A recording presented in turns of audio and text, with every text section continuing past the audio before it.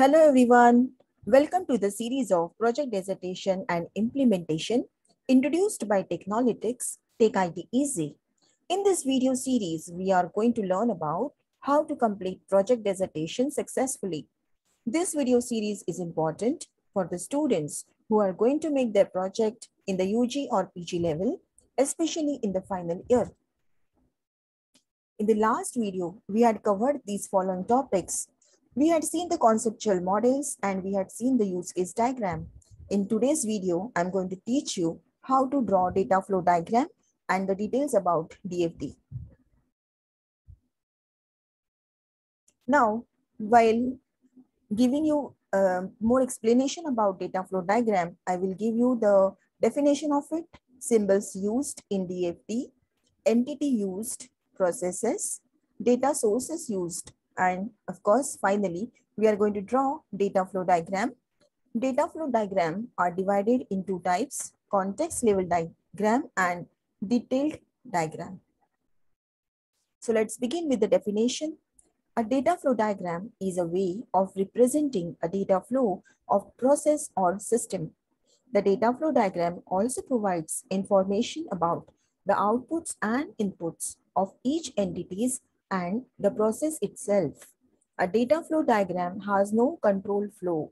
There are no decision and no loops. So basically, please remember that we are having certain processes in our system. Each process may get some data and may generate some data.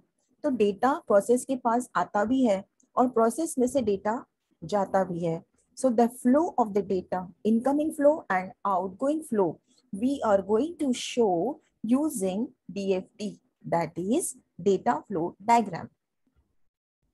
Now the symbols which we are going to use are for process, we have to show the rounded rectangle. Uh, it is divided in two parts. So on top, you have to name it. You have to give certain ID, okay? And uh, here, the name of the process. Uh, secondly, we are going to show uh, data sources with this type of symbol. So here open rectangle is there. Again, uh, it is divided in two parts. One, the name of the data store and here you can specify the ID. ID could be D1, D2, D3 likewise. Now external entity, okay. So uh, external entity simply you can show with a rectangle and data flow you can show with the with an arrow. Arrow could be single-headed or double-headed. Now just give certain uh, elaboration on each and every symbol. So external entities, basically external entities you will name with a noun. Please remember, we have to represent external entities with a noun or maybe describing certain, uh, describing that particular entity. For example, customer could be one of the external entity, employee, student, etc. Okay, so basically external entities are represent people or organizations outside of the system which are going to use our system. Okay, so entities, you will name it with a noun. Next is processes. Now processes represent either a whole system, okay, students, uh, friends, uh, whenever we are designing any DFD, that time we may divide it in context level diagram or detailed diagram. When it is a context level diagram, then the whole system could be your process. जैसे कि attendance system ये मेरा अगर system है तो ये पूरा system मेरा प्रोसेस होगा कहाँ पे कॉन्टेक्स्ट लेवल डायग्राम में so it could be a whole system, it could be a subsystem, or it could be a work being done, an activity, certain process. जैसे हमने यूज़ केस डायग्राम में use cases देखे थे जो centre में हम लोग ड्रॉ करते हैं विथ एन ओवल शेप तो ये सेम वही जो यूज़ केसेस है यहाँ पे हमारे बन जाएँगे प्रोसेसेस और उसका रिप्रेजेंटेशन थोड़ा सा अलग होगा. okay uh, names should be in the form of verb ad adjective noun okay some happening should you should show in the process क्योंकि प्रोसेस सिर्फ खाली नाम के लिए नहीं है कुछ ना कुछ वहां पे काम होता है okay so that you can show with what you can show it with verb okay for example you can say um, you can create a process such as add new customer so something is happening so so, जो हो रहा है उसके लिए ये कहाँ पे हम लोग इसको कैटेगराइज करेंगे? It is a process calculate result search employee so इस टाइप के प्रोसेसेस आपके रहेंगे आपके डीएफटी में which will show with what most of the time you will be showing with the verb verb मतलब कुछ तो क्रिएटिविटी uh, कुछ तो happening okay next is data sources name with a noun describing the data data stores are usually given a unique reference number such as d1 d2 d3 तो हमने symbol में देखा ही था कि सिंबल में दो पार्ट्स हैं। तो फ़र्स्ट पार्ट में आप लोग डेटा सोर्स को डिफाइन uh, करेंगे okay so that should be in the with the unique name D one D two D three likewise for example data sources could be employee where you can store the data of an employee department product rate etcetera so so, जो भी data हम कहीं भी data base में या table में store करते हैं उसका नाम आएगा डेटा सोर्स में। नेक्स्ट है data flow now data flow shows the data about a person place और thing that moves through the system name should be a that describes the data moving through the system इतना याद रखो कि data flow आप जब भी DFD में draw करेंगे तो ये फ्लो लाइन विदाउट नेम्स या without description of the data नहीं होंगे कुछ ना कुछ डेटा इन फ्लो लाइंस पे फ्लो होना चाहिए इसके लिए ही हम उसे कॉल करते हैं डेटा फ्लो डायग्राम क्या फ्लो हो रहा है डेटा फ्लो हो रहा है so always remember on the data flow please do show the data flowing on the flow lines. Okay. So this is what I wanted to show you. Next, let's understand the context level diagram. You can also call it as zero level diagram. It contains only one process. So you all can see here, only one process is there, right? Representing the entire system. अब देखो इस process को सब हम divide कर सकते हैं okay login process register process add student uh, do the transaction of the student attendance defaulter an number of process we can make out of this process but ये मेरा कौन सा डायग्राम है?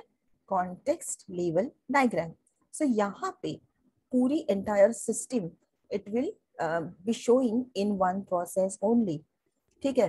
The process is given the number zero you all can see ID मैंने क्या दिया है? Zero the diagram does not contain any data store यहाँ पे you can see no data store is there Nothing is there. Only it is surrounded with the entities. Okay, so ये process है और यहाँ पे सारे entities है. Okay, so yes, yeah, this is what, this is how you will draw context level diagram without any data source. Okay, and only processes, uh, you can say only entities surrounded to single process. The single process कौन सी होगी? Your entire system. Now here, uh, I'll just give you one uh, idea. Before creating any DFT diagram, please segregate the data. Please understand what all entities you are going to, uh, what all entities are there which are going to use your system. So attendance system अगर हम consider करते हैं तो मेरे पास entity है admin faculty student developer इन entities को का मैंने कलेक्शन करके रखा है प्रोसेसेस कौन से प्रोसेस होंगे? उसका कलेक्शन करके रखो। डेटा सोर्सेस कहाँ पे कौन से फाइल्स होंगे टेबल्स होंगे डेटाबेसेस होंगे, उसका भी कलेक्शन करके रखो।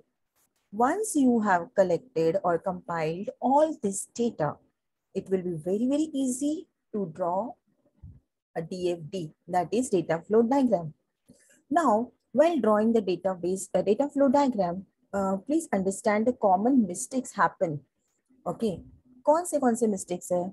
A process with only input data flow और only output data flow from it किसी भी प्रोसेस में सिर्फ़ input ही नहीं आएगा या सिर्फ़ आउटपुट ही नहीं जाएगा।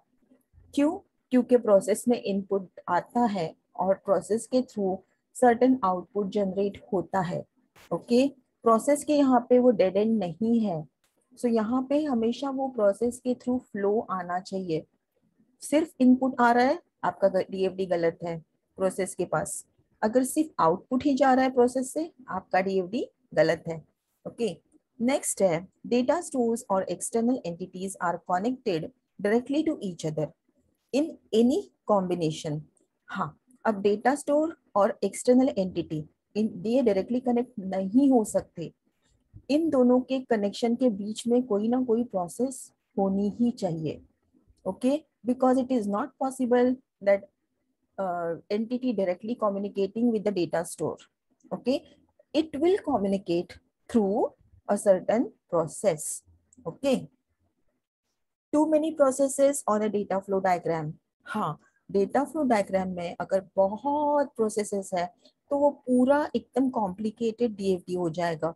it will be very difficult to understand the system okay why we are drawing this dfd to understand the system and that only if we are making it complicated तो फिर कोई use नहीं है इसका so i will suggest maximum 8 to 9 processes per page you can show next is wrong data flow on flow line data flow जब भी आप दिखाओगे through arrow arrow के ऊपर आपको प्रॉपर डेटा ही दिखाना है। क्योंकि ये डेटा फ्लो डायग्राम है, उसके ऊपर अगर आप कोई प्रोसेस दिखाओगे, कोई वर्क के थ्रू आप एक्सप्लेन करोगे तो नहीं चलेगा।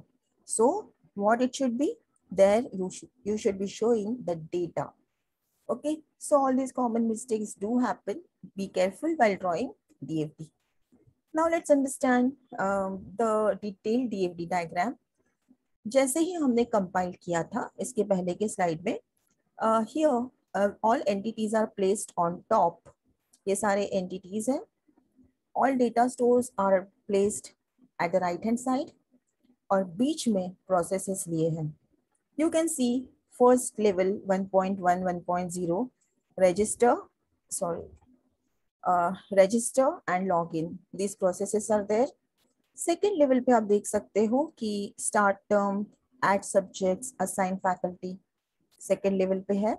थर्ड लेवल पे you can see generate Q R scan Q R all these processes are there and fourth level पे also processes are there like maintenance backup and restore अब क्या करना है? You just have to show the data flowing from entities through processes to the data store.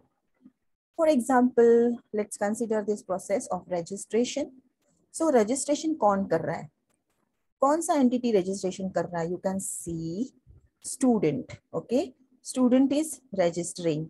ये arrow आप देख सकते हो ये इस रजिस्टर प्रोसेस की तरफ़ जा रही है इस एरो की तरफ़ if you will see what the data is flowing student details this data is flowing okay यहाँ से, इस एंटिटी से ये जा रहा है अपने इस प्रोसेस के पास 1.0 रजिस्टर इस प्रोसेस के बाद where it is going it is landing to the log in file log in data store you can see this particular arrow is going to the data store what is written on the flow line register student details okay तो कौन सा data जा रहा है? Register student details का data जा रहा है।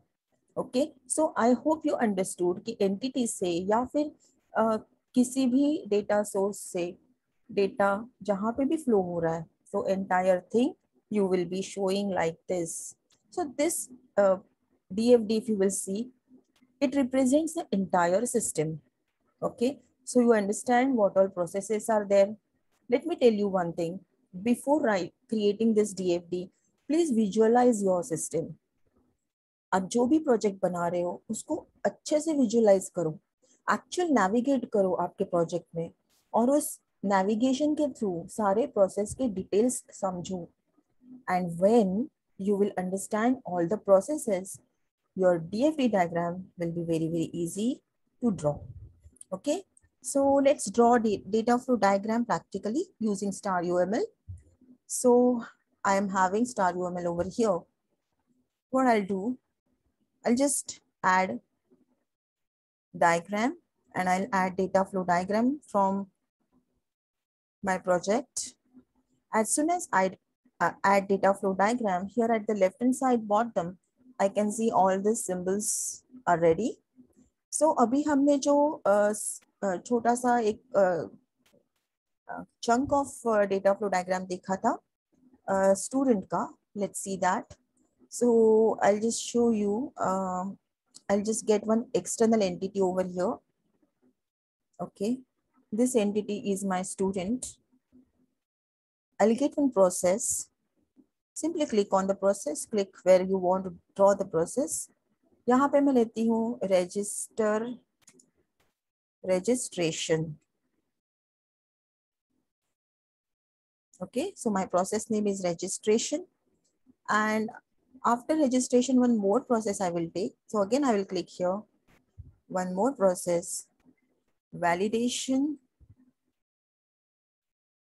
or student validation. Okay. Now here I'll take one data flow. So data flow nahi, data source, data store lete hain. And uh, my data store name is login. Okay.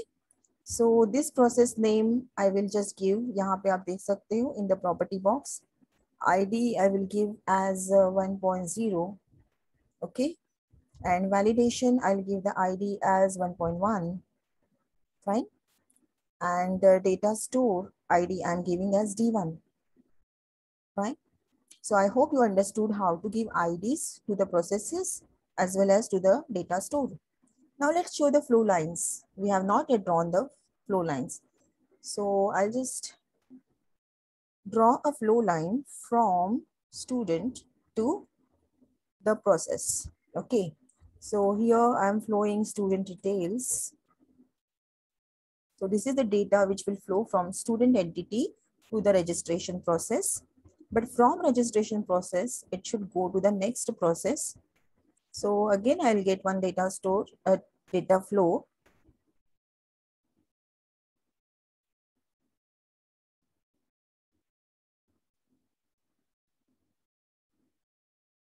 Just a moment.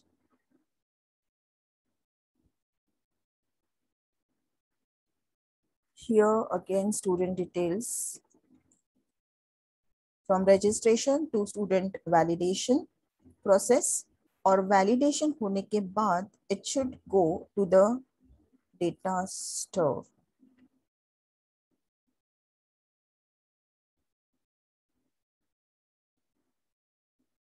So validated or authenticated student details. Now, guys, you can see on each and every flow line, we have written the data, what is flowing. And this is nothing but data flow diagram. क्या flow हो रहा है देखो data flow हो रहा है कौन सा data flow हो रहा है from student entity to here normal student details from registration to uh, validate process student details ही जा रहे हैं बट वैलिडेशन प्रोसेस जब होती है तो उसके बाद validated student details we are storing in the log in file okay so this is so simple if you are having all the collection of entities data flow and process and data stores of course then easily you can draw D F D diagram okay so that is what we wanted to show you in this video I hope you have understood the concept of data flow diagram. Okay, the symbols used in DFD and uh, context level DFD. Also, we call it as zero level DFD and detailed DFD. I have also shown you how to draw DFD using star UML. Okay, in the next video, we are going to see how to draw activity diagram and that uh, to know, to get that uh, notification, please subscribe our channel and uh, please do like and comment and ask your questions if you have any. Uh, so uh, that's all for this video and thank you so much for listening it so uh, patiently. And on behalf of Team Technolytics, I thank you everyone.